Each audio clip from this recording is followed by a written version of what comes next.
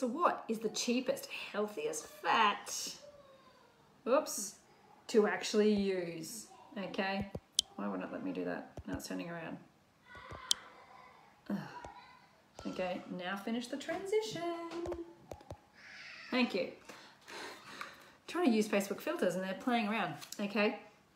So I saw this post in a group today and it was talking about how to know your oils and what are the smoke points for your healthy oils. And I'm just going to show you this right now, okay? So see this? Uh, this is the oils that they were talking about, okay? You can see olive oil, avocado oil, coconut oil, walnut oil, and ghee. But guess what? They're missing a really, really important oil, a really important fat, I should say.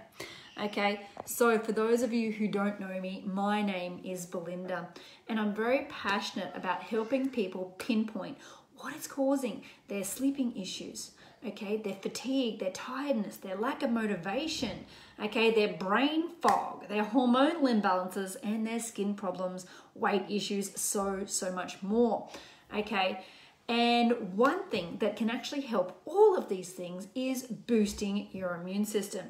And did you know that healthy fats can help boost your immune system? Yeah, if you know that, put a yes down below, okay? Say yes or give this a thumbs up.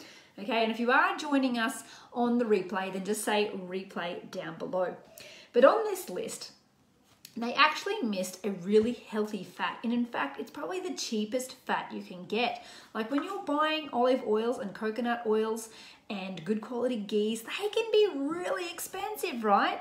Okay, but this fat is healthier than all of those and it's much, much cheaper, okay? And there's two ways to do it. There's two ways. You can buy it or you can collect it, okay? And the first one is this one. You can buy this from the shop. I bought it the other day. I have not actually tried this one because I got a bit excited and thought, oh yeah, I want to try that. Okay, and it was literally for a tub of 500 grams, it was $2.30, which is an absolute bargain, okay? And it even says here, somewhere on here, enjoy the forgotten taste and golden crispiness of potatoes, sweetly roasted and meat the way grandma used to make it, okay? And they are totally right, okay? And that is dripping or lard, okay? But it actually helps build a healthy, strong immune system as well, okay?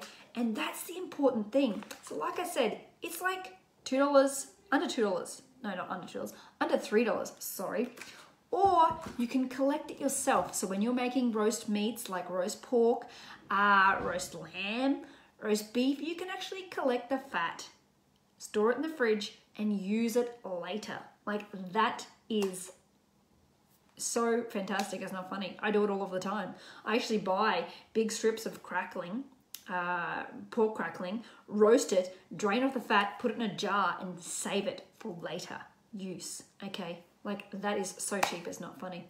So anyway, let us know down below what is your favorite healthy fat to use, okay? So that's just one of the ones that I use. I you do use multiple, so which ones do you use? What are your favorites, okay? Is it olive oil? Is it avocado oil?